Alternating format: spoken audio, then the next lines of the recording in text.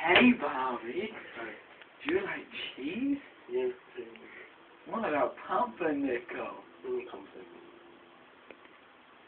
That's not very nice. What about chocolate spread? Can I sit on your sofa? Yeah, go ahead. Oh my fucking god.